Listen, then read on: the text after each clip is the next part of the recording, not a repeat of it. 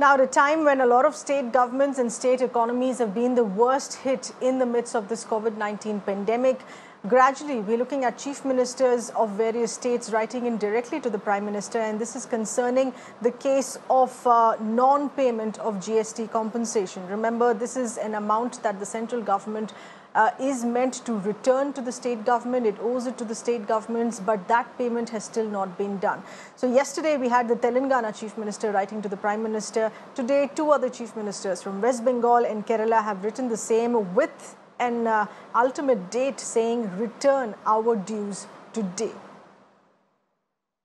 Well, uh, West Bengal is one uh, of the states that has rejected the center's offer of borrowing money uh, for their GST compensation that they're unable to pay because of the shortfall in revenue due to the pandemic that is ongoing right now in the country. Now, West Bengal Chief Minister Mamta Banerjee today has written to Prime Minister Narendra Modi uh, seeking his intervention, where she has highlighted the fact that when Narendra Modi was the Gujarat Chief Minister and Arun Jaitley back in 2013, both of whom had rejected the GST, saying that the uh, central government back then would not be able to honor the compensation. And that is exactly what is happening now in 2020, where uh, Chief Minister Mamta Banerjee has said that the center is not being able to honor the compensation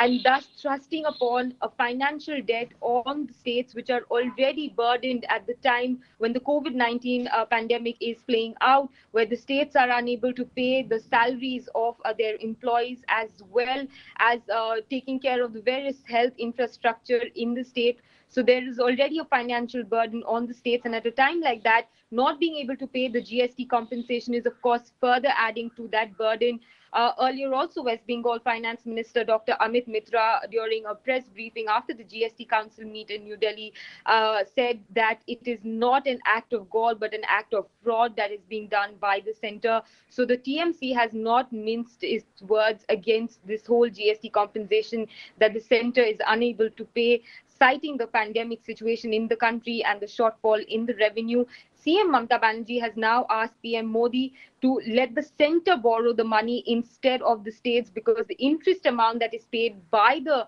uh, center is much lower than that of the state, and this will help them in, uh, you know, uh, decreasing that financial burden.